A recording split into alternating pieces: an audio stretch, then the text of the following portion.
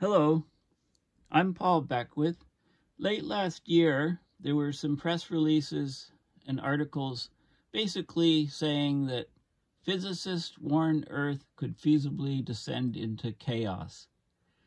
So what are they saying? Well, they're saying that the impact of human activity on the Earth system could result in unpredictable chaos from which there is no return, physicists have calculated. Well, let's hope that they're wrong.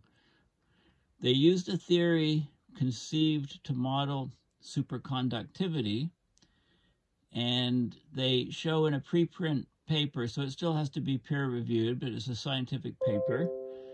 So they say that this year,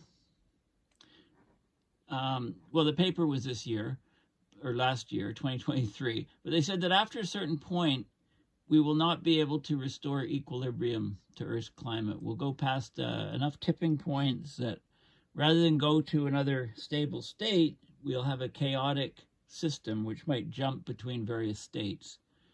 So a finite amount of human activity could result in a hothouse Earth from which there is no return, the research suggests.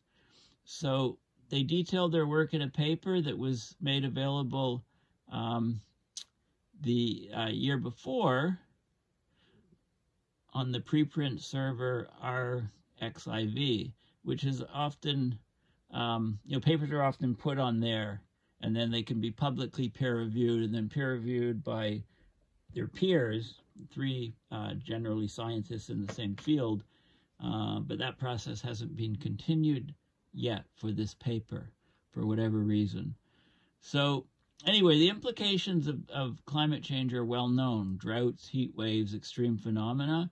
But if the Earth system gets into the region of chaotic behavior or chaos, we will lose all hope of somehow fixing the problem. So for some years now, we've had extreme weather events that are occurring more regularly. Wildfires, storms, temperatures. Climate scientists have warned that this is a consequence of human activity the burning of fossil fuels, deforestation, increases in farming, etc. So we've it's been proposed that we have a new geological epoch, the Anthropocene, which is still, I think, being voted on to make it official. You know, a period, of course, in which human activity has led to a significant and marked impact on the entire Earth system, composed of the geosphere, biosphere, hydrosphere, and atmosphere. Okay, so the Anthropocene would basically follow the Holocene, which started about 11,700 years ago, and scientists propose the beginning around of the of the Anthropocene around the middle of the 20th century, so around 1950 or so, the peak in the nuclear era. Um, so what these physicists did is they modeled the transition from the Holocene to Anthropocene as a phase transition, and they calculate its future trajectory accordingly. Now, phase transitions are very common. The term refers to how a material changes from one state to another. Like a solid melting into a liquid is a phase transition. A liquid boiling into a gas or evaporation is a, another phase transition.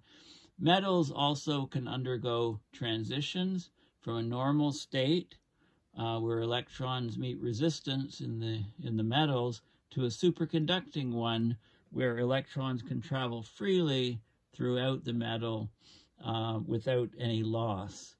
So each of these phase transitions has a tipping point at which an equilibrium state undergoes a profound shift into another state.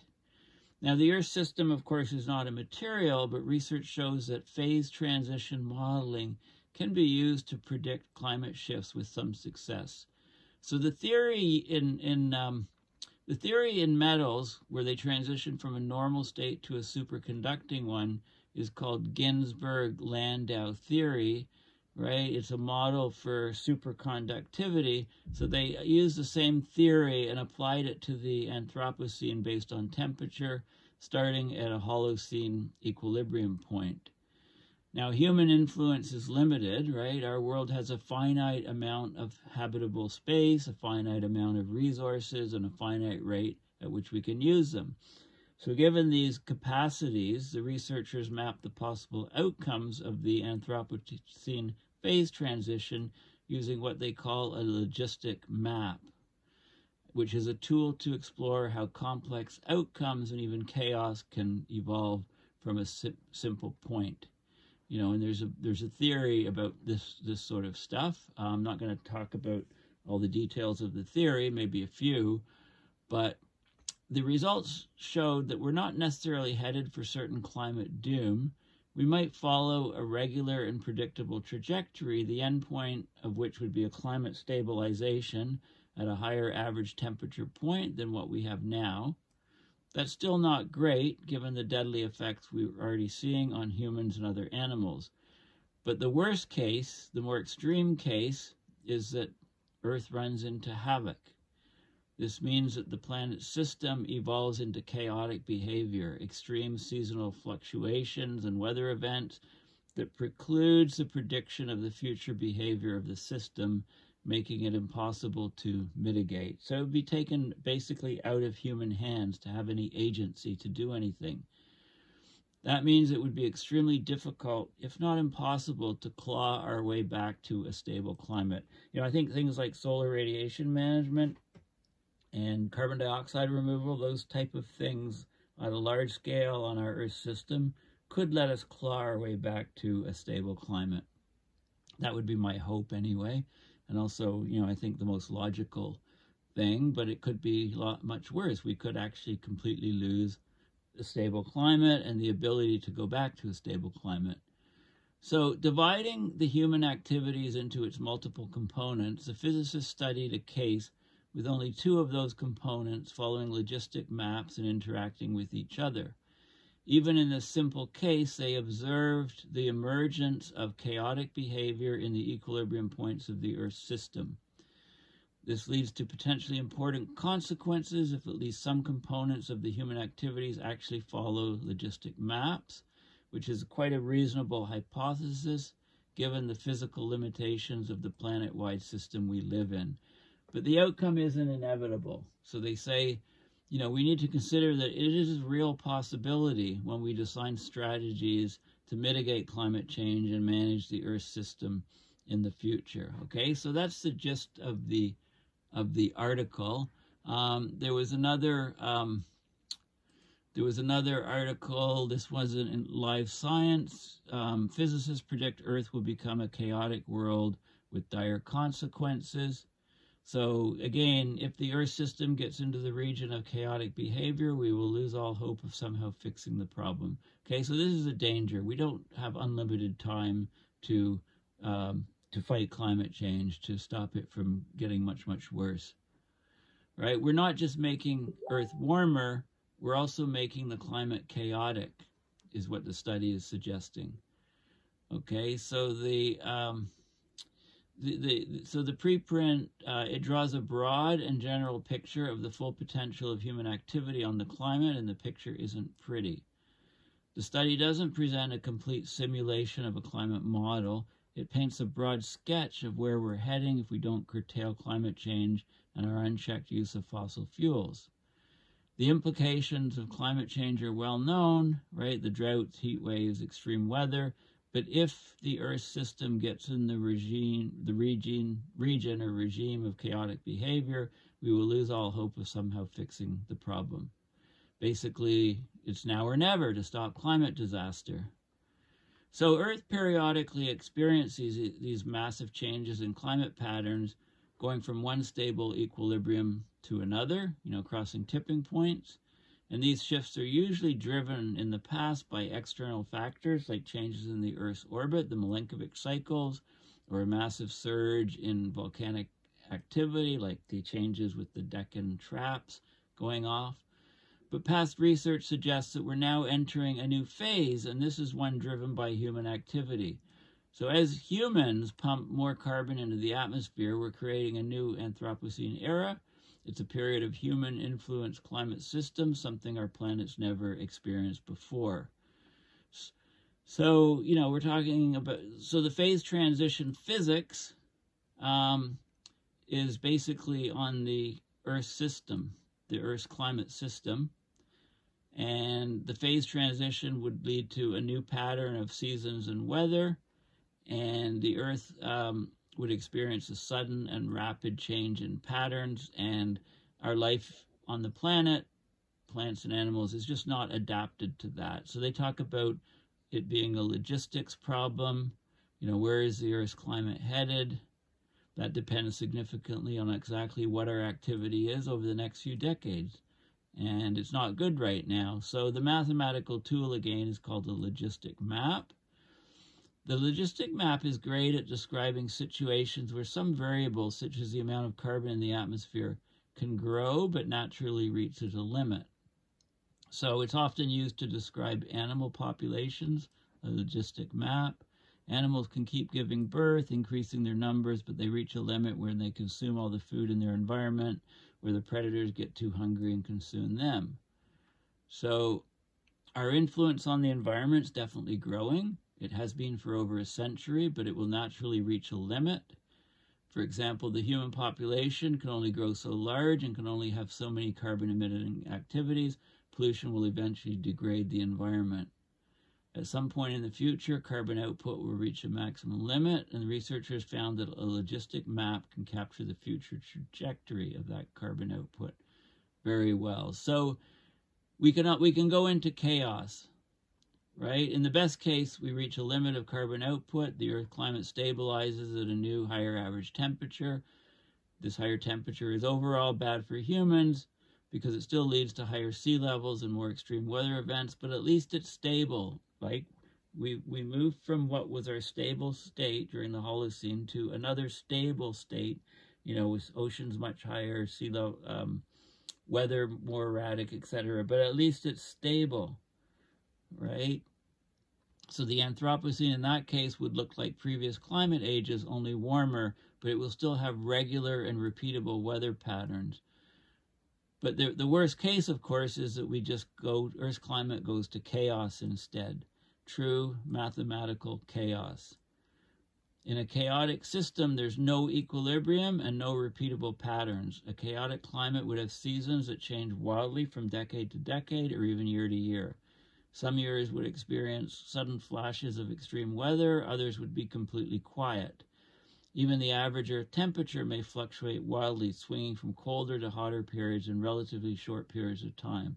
It would become utterly impossible to determine in what direction Earth's climate is heading in this type of chaotic system. So think of, uh, you know, a pendulum. You know, we can figure out the physics of a simple pendulum. Uh, the Earth system could be chaotic, like a triple pendulum, which uh, is a dynamic system that can't be predicted. It's a chaotic system.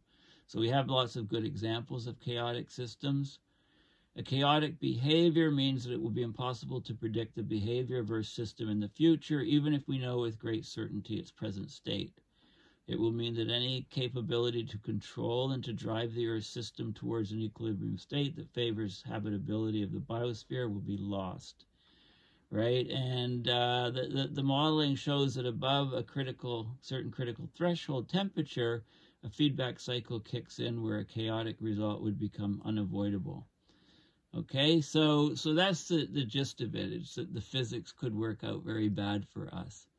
Now, a logistic map is just this sort of thing. You can check out the wiki page, Wikipedia page for it, but it's basically this sort of um, map where you have some state changing, and then you reach a point of bifurcation. It can split into two different paths, and you go along each of these paths separately, and then at some point, each path can split into two more states, and the thing and, and everything repeats and repeats and repeats. So that's the type of diagrams these logistic maps that you see, trying to describe. So, you know, a state, the state is known. Now it can be in two possible states, but if you keep going, it can split into all kinds of chaos. So this is the problem, right? Um, you know, you can get swings from one of these states to the other state and back again. Um, it, that's what comes out in the math. Um, the Ginzburg-Landau theory, there's a Wikipedia page on it. It really explains, uh, you know, it's very complex math. It really basically explains uh, superconducting transitions. There's a superconducting transition temperature. Um, and uh, if you're on one side, then you get uh, normal metals with uh, resistance to flow of electrons. And uh, in the other state, you get zero, resistance goes to zero, and you have a superconductor. So the physics can explain that transition in superconductors, and you can use the same sort of thing uh, to look at the climate. So this is the this is the preprint uh, paper, Chaotic Behavior of the Earth System in the Anthropocene. And I'm just going to talk about it briefly because there's a lot, you know, it's heavily math um, dependent, physics dependent. I just want to get the basic ideas to you, not go through the details. So it's shown that the Earth system can, due to the impact of human activities, behave in a chaotic fashion. The arguments are based on the assumption that the Earth system can be described by a Landau-Ginzburg model, which on its own allows for predicting that the Earth state evolves through regular trajectories in the phase space towards a hothouse Earth scenario for a finite amount of human-driven impact.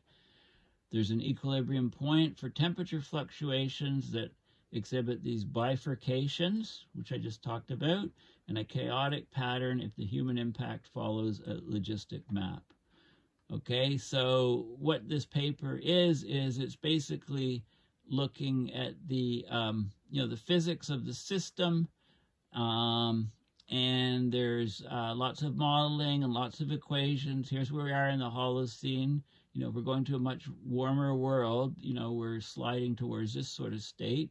So you can look at stability landscapes and if you go beyond certain conditions, then you can break into instability and, and uh, unpredictable behavior. So there's all of these. I'm just, you know, going to look, I'm not covering details of this. Um, you know, it'd take me a week to do it. But you've got this diagram here for, uh, this is the uh, bifurcation diagrams. So you have the parameter, one value, it can only be one value and then suddenly it bifurcates into two and each and then it goes along this so it can go either here or here it can only be in one state at a time and then it goes up and then it can split into another two possibilities and you know eventually it each one each time that happens and you can get this very unstable unpredictable activity here's another diagram of another parameter doing the same you know different parameters doing the same thing Okay, so this paper is chock full of these bifurcation diagrams and then a whole bunch of equations and math, and then more diagrams showing different possible states and splitting. Okay, so there's different parameters used to create the different curves. Um, and they model, you know, what happens, and there's more diagrams. See, it's easy. All the diagrams are these bifurcation uh, sort of things happening. And you can see it's very fuzzy, so you can be in any of these states. You, you just can't predict what where you're going to be. You can predict maybe a maximum, minimum, but you know, and it, then it can get even really fuzzier here. Like you just you know that you're you're you're at a known curve, and suddenly chaos breaks out, and you could be any. You know, it's just you can't predict what's going on. That's basically what what this paper is showing. More of these nice bifurcation diagrams, uh, maps, the logistic maps. So basically they used the, um, they described the Earth system in terms of this theory of phase transitions, Landau-Ginzburg theory of phase transitions that they that, that well explains superconductors. They studied how it behaves if some of the variables accounting for human activities follow a behavior that can be modeled by the logistic maps, those bifurcation diagrams. They basically see that you end up with a quite rich uh, group of possible trajectories in the Earth system in the Anthropocene, including regular and predictable trajectories, but also bifurcations and then chaotic behavior. Okay, so basically you know, we're, we're playing with fire with our present Earth system, and we can drive it into being completely chaotic according to the physics of the system. So, you know, it's, uh, it's a fascinating result theoretically. If I was up in space in a bubble, you know, spacecraft looking down, you know, I could look at this quite clinically and say, yeah, this is really interesting, but since I happen to be on the other side, on the Earth itself, and this is a possible uh, future state of it, then, you know, it's something that um, is really eye-opening and, uh, you know, might lead us all to become uh, philosophers, you know, lamenting on, well, humans had a good run, but it's, we're nearing the end, basically. Uh, you know, we're we're heading into chaos. Chaos uh, theory is a, is a very fascinating, interesting field.